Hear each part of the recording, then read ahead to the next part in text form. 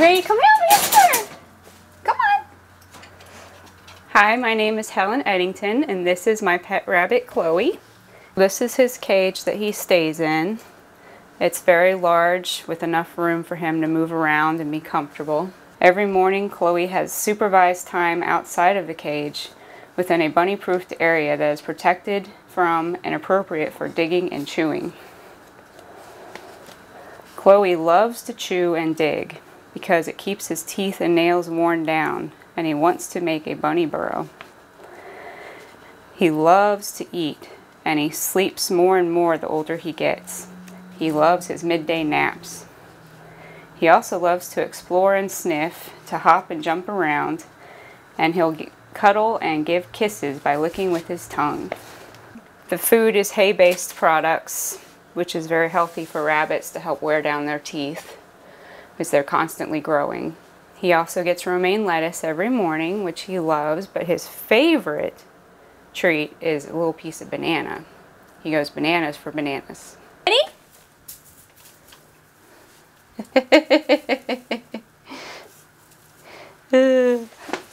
he loves going after that ball. Um, I put in some sunflower seeds and sometimes I'll add a half of a peanut or two, maybe a small piece of walnut or almond.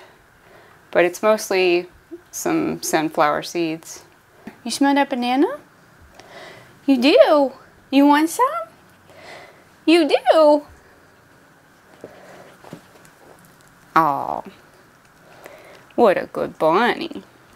You want some more? You do. if you listen closely, you can hear him chomping on it and snorting sometimes. What's that? Chloe says it's time for his lettuce and his midday nap. And he says, thank you for coming. I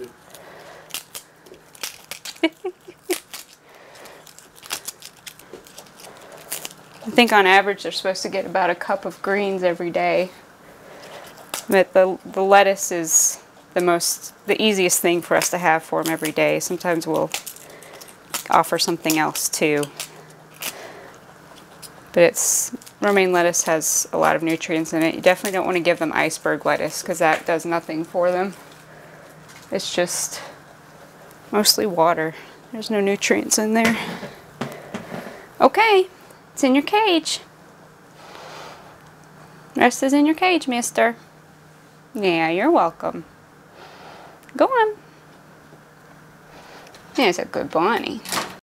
Even though rabbits are very cute, they're not just a present to give. They are a complicated commitment